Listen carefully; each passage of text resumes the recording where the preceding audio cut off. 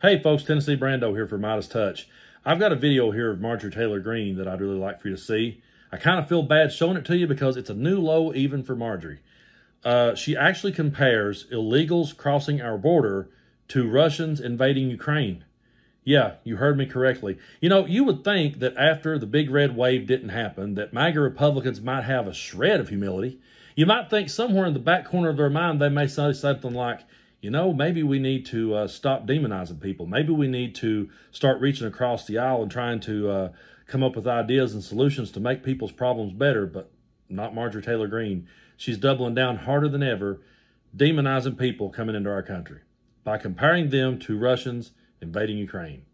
Yep, you heard me correctly. Roll that clip. We're ignoring the, the dangers happening at our border and the national security crisis that's happening in our country while we are completely protecting another country's border and also waging a proxy war with Russia. We had 5 million people cross our border illegally since Joe Biden took office. And let's compare that to how many Russians have invaded Ukraine. 82,000 Russians have invaded Ukraine. I think the American people and the taxpayers of this country deserve to know why the Biden administration and this Congress is so interested in funding the protection of Ukraine's border and not the protection of our border? That's a very good question. Yeah, I do believe that is the most disgusting clip of Marjorie Taylor Greene yet. To compare people coming to this country to seek a better life and to escape oppression and to find work and to live the American dream, she compares that with Russians invading Ukraine. And people wonders why there's so much division in this world.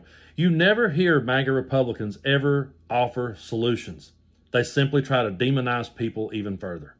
You know, I had a really good Latino friend, and he is a, a legal American citizen now. He got his uh, citizenship, and he lives here and supports his family. But I talked to him one time about what it was like before he became legal and what that was like living that way.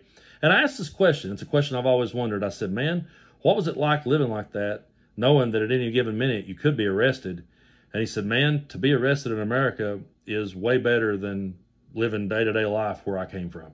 I would take that risk any day. And you never hear the tops of Marjorie Taylor Greene say, okay, how can we fix this situation? And how can we help these people who simply wants to come here and have a better life? Instead, she compares them to Russians invading Ukraine.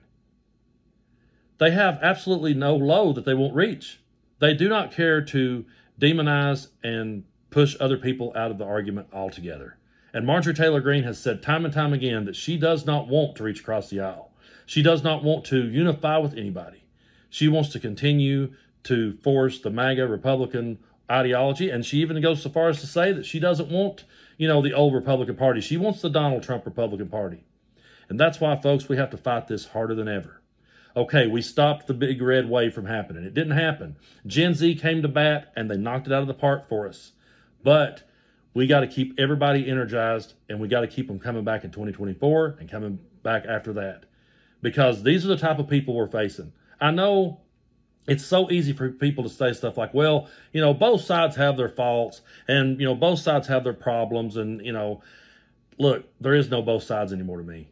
There is the Democratic Party who may be flawed, who may not always have the best of ideas, but at least they have ideas, versus a party who has no problem demonizing people to the point of comparing them to Russia invading Ukraine.